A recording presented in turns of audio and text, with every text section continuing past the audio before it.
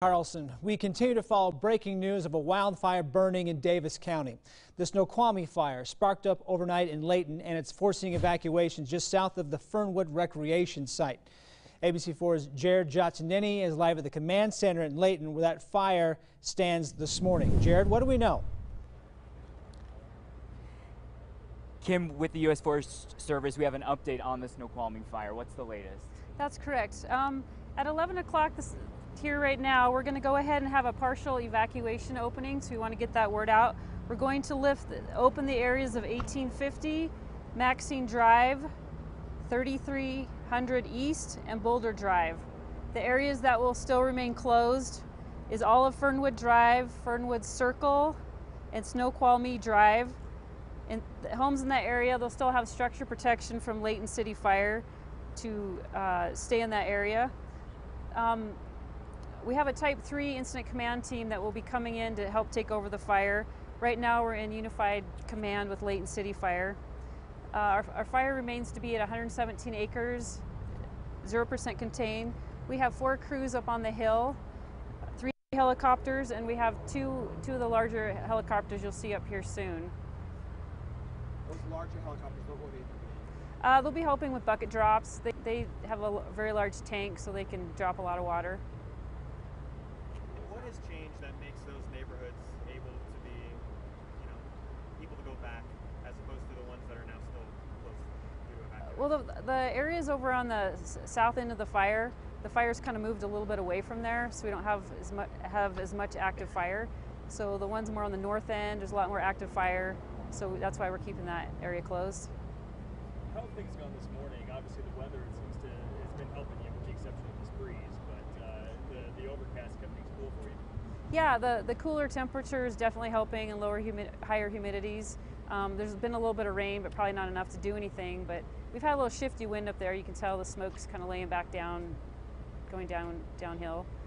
Um, things have been going well. We've got several of our crews in here. They're working on building containment li line. They kind of want they want to flank on both ends of the fire, up towards the top. That's kind of our action for suppressing the fire. Any injuries, loss to structure? Uh, no injuries right now. Uh, I'm sorry, what was your question? The latest acreage and containment is still zero. Yeah, zero percent and 117 acres. Structures all right still? Yeah, all the stru- we haven't had any issues with structures. No damage. Uh, things have been looking really good up there. What's the behavior now? Is it just burning up toward the ridge line? Yeah, it's we've got some heavier type brush and pine trees up towards the top, so it's it's burning in there, which takes a little. This fire is probably going to take a little longer to get put out versus the um, gun range fire. About how many homes are still on that mandatory evacuation? Um, I don't know exactly how many. What can residents expect? You've got all these helicopters dropping water. How long will it take to put the fire out? It'll probably take a couple days to, to get things really, a lot of, because we've got heavier uh, fuel type or brush, it takes a lot longer to get that all out. The, fire tends to smolder around underneath things, so it takes time to, to mop that all up.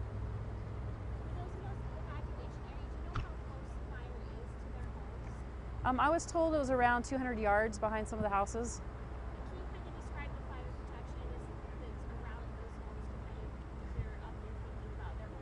Okay, so things are looking really good. They have uh, a big hose lays up there along with firefighters and the structure engines are all through there. So, you know, to protect them is a precautionary. It's not, there's not like an imminent threat at this moment, but it's more of a precautionary to, to make sure that we have everything in place in case something happens.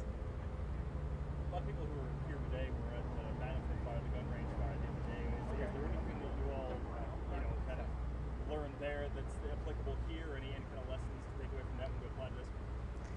Um, I, I, think you know whenever we get these fires in the front, you know sometimes we might have not have one for a couple years or there's some space in between, but I think everyone was kind of the top of their game because we just experienced that. Every, a lot of the same structure engines and same folks, firefighters were up here, and so they were to act very quickly, and they were already in the mode of evacuating to, to be more efficient. So it went very quickly, and we, we really appreciate all the residents that were you know, helpful and left when we asked them to leave, you know, because we don't want to get anyone hurt, and we don't want our firefighters to get hurt either.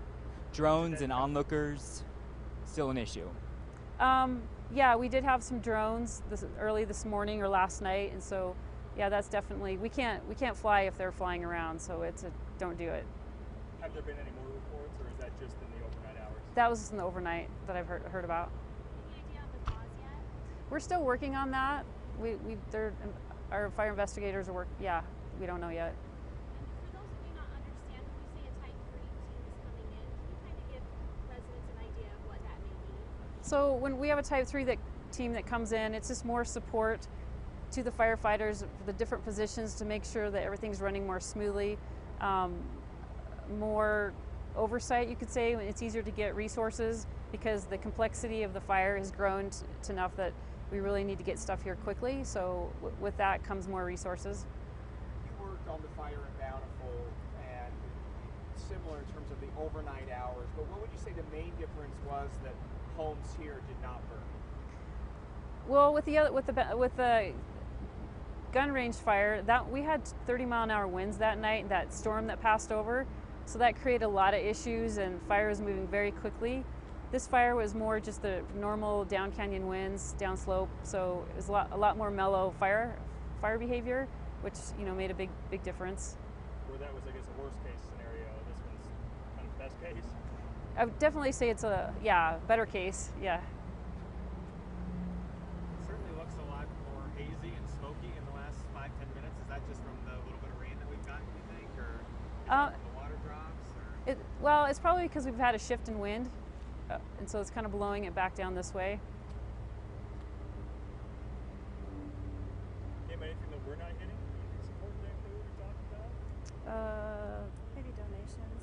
oh, if, uh, so our firefighters are well taken care of when we, we get here, and, and so if, if people were thinking about donating, monetary donations are, are much better for the Red, to take to the to Red Cross.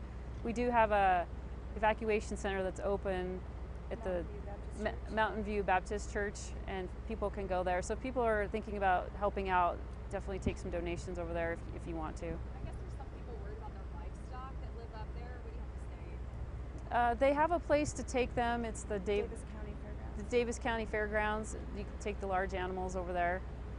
I guess people are worried they can't get to their livestock. Oh. if they were rushed out. Um, they can call the Davis County Animal Care and Control. Okay, they can call the Davis County Animal Control. Here's a number. 801. It's uh, 801 444 2200. And we probably can figure out a way if we need to get up there to get them out. Uh, they can, we can get that figured out for sure. These guys can help with that. Yeah, that, that, that number will help with getting your animals out.